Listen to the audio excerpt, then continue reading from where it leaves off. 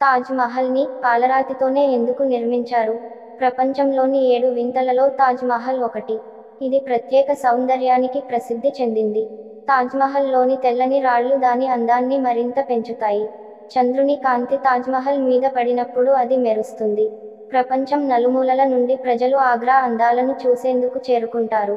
అయితే తాజ్ మహల్ కట్టడానికి కేవలం తెల్లని పాలరాయిని ఎందుకు ఉపయోగించారని మీరు ఎప్పుడైనా ఆలోచించారా? తెల్లని పాలరాయిని ఉపయోగించడం వెనుక ప్రత్యేక కారణం ఉంది. హిస్టరీ హిట్ నివేదిక ప్రకారం తాజ్మహల్లో ఉపయోగించిన తెల్లని పాలరాతికి ఎంతో ప్రాముఖ్యత ఉంది. మొఘలుల కాలంలో తయారైన ప్రతి వస్తువుకు ఎంతో ప్రత్యేకత ఉండేది. మొఘల్ కాలంలో ఎక్కువగా రెండు రకాల రాళ్ళను ఉపయోగించేవారు. అవి ఎరుపు తెలుపు.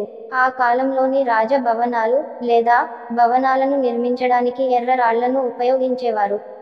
అయితే తెల్లని రాళ్ళను ఎంచుకున్న ప్రదేశాలకు మాత్రమే వాటిని ఉపయోగించేవారు. అలాంటి రాళ్ళను పవిత్ర స్థలాల కోసం ఉంచడం జరిగింది. వాటిని సమాధి వంటి ప్రదేశాలకు ఉపయోగించారు. అందుకే తాజ్మహల్కు తెల్లటి పాలరాయిని ఉపయోగించారు. ఉదయం గులాబీ రంగులో పగటిపూట తెల్లగా మరియు రాత్రి బంగారు రంగులో కనిపిస్తుంది. ఈ పాలరాయికి మరో ప్రత్యేకత కూడా ఉంది. తెల్లగా ఉన్నప్పటికీ ఈ పాలరాయి తాజ్ మహల్ను వివిధ రంగులలో చూపిస్తుంది. ఉదాహరణకు ఈ రాయి ఉదయం గులాబీ రంగులో కనిపిస్తుంది. పగటిపూట తెల్లగా కనిపిస్తూనే చంద్రకాంతిలో రాత్రిపూట బంగారు వర్ణంలో కనిపిస్తుంది. అందుకే షాజహాన్ తాజ్ మహల్ నిర్మించేందుకు ఈ పాలరాయిని ఎంచుకున్నట్లు నివేదికలు చెబుతున్నాయి.